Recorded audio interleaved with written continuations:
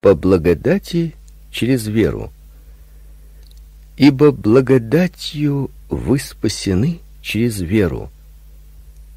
Послание Ефесянам.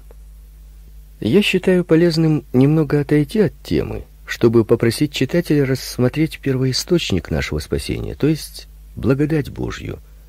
Благодатью вы спасены. Грешные люди получают помилование, обращаются, очищаются и спасаются только потому, что Бог милосерд.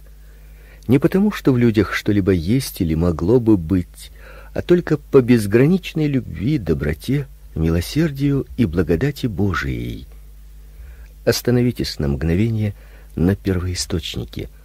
Взгляните на прозрачный поток живой воды, исходящий от престола Бога и Агнца. О, какая бездна благодать Бога! Кто измерит ее ширину? Кто определит ее глубину? Как и все другие свойства Бога, она бесконечна. Бог полон любви, ибо Бог есть любовь. Бог полон благодати. Самое название Бог происходит от слова благой. Беспредельная любовь и благость находятся в самой внутренней сущности божества. Люди еще не покинуты, потому что вовеки пребывает милость его. Грешники приводятся к нему и получают прощение только потому, что милосердию его нет конца. Вспоминайте об этом, иначе вы можете впасть в заблуждение, направляя свои мысли слишком много на веру, которая только проводник, канал спасения — забывая благодать, которая источник и начало веры. Вера дело Божьей благодати в нас. Никто не может назвать Иисуса Христом без содействия Святого Духа. Иисус Христос говорит: "Никто не может прийти ко мне, если не привлечет его Отец, пославший меня".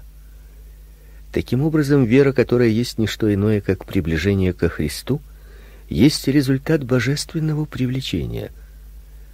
Благодать первая и последняя побудительная причина спасения, а вера, как она несущественна, только важная часть того орудия, которое употребляется благодатью. Мы спасаемся через веру, но спасение наше по благодати. Пусть эти слова звучат как из трубы архангела: благодатью вы спасены. Какая радостная весть для недостойных. Вера играет роль канала или проводника. Благодать же источник и поток. Вера водопровод, по которому течет поток милосердия, чтобы освежить жаждущих сынов человеческих.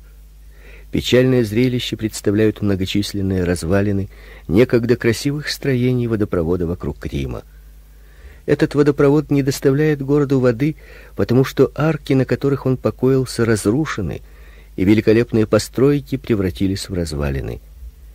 Водопровод должен содержаться в целости, если от него требуется, чтобы он доставлял воду. Также и вера должна быть истинною и здравою, направленной прямо ввысь, к Богу и прямо вниз, к нам самим, если она желает быть каналом милосердия, приносящим пользу. Я еще раз напоминаю, что вера только канал или водопровод, а не источник, и что нельзя так исключительно строить на вере, ставя ее значение выше всего того благословения, которое находится в благодати Бога. Не делайте никогда из вашей веры Христа и не думайте о своей вере, что она независимый источник вашего спасения. В том наша жизнь, если мы взираем на Иисуса, а не на свою собственную веру. Благодаря вере для нас все становится возможным. Только сила не в вере, а в Боге, на которого полагается вера.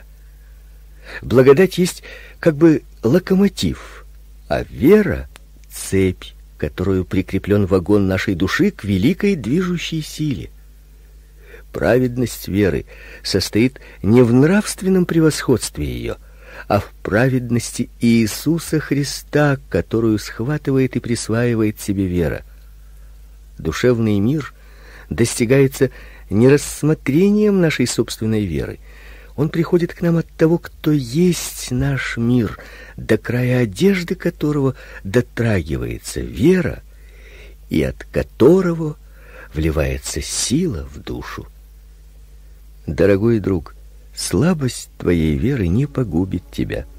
Дрожащая рука может принять золотой дар. Мы можем получить Божие спасение, если даже наша вера мала, как горчичное зерно. Сила в благодати Господа, а не в нашей вере. Великие вести можно рассылать по тонким проволокам. Весть мира Святого Духа может дойти до твоего сердца через веру, подобной паутине, через веру, которая, по-видимому, не в состоянии выдержать даже собственной тяжести.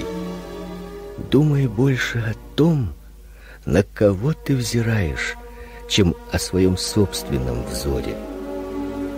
Ты должен отрешиться от своих взоров и видеть только Иисуса и открытую в нем благодать Бога.